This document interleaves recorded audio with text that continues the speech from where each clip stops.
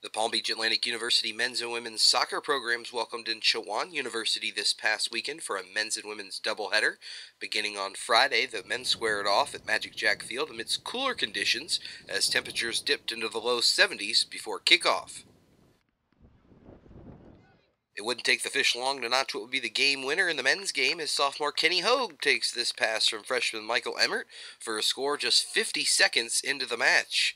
The goal would be a sign of things to come for the PBA offense as they would tally eight scores in the 90 minute match.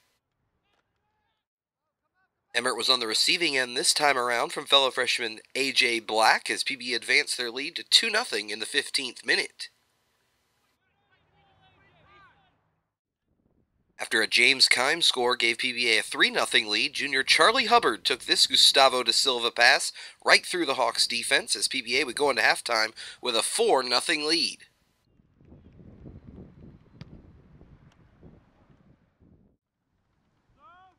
Tyler Sanders gets this early second half score started with a long throw in that eventually finds the feet of Black, who makes an easy pass to Hogue, who scores again.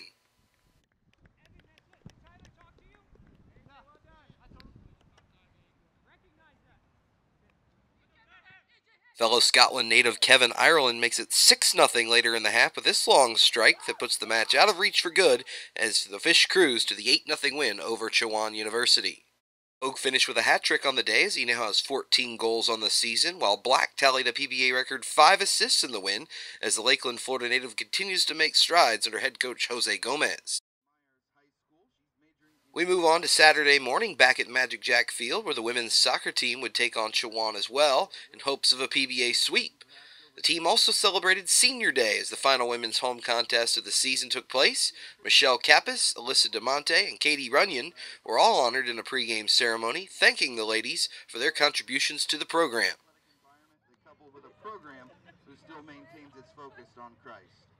Following her time at TCU, Katie has found success.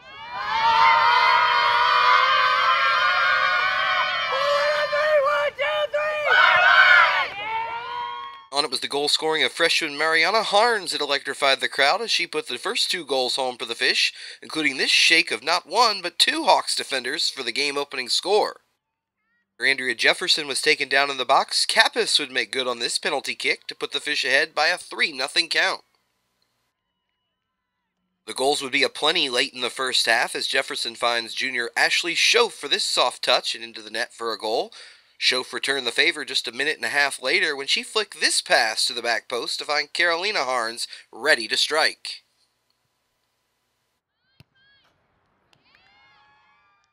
Tara McNabb was the final PBA player to score just before half as this long corner kick came into the box where she neatly placed the ball in for a 6 0 lead. A late header by Kappas capped the score for PBA in the second half as they breezed their way to a 7 0 win and a PBA sweep of the Hawks. Marianne Harns finished the day with a pair of goals and a pair of assists as she leads the Fish in points this season with 10. Kappas closed out her home career in the blue and white in fine fashion with her first multi goal game of her four year career.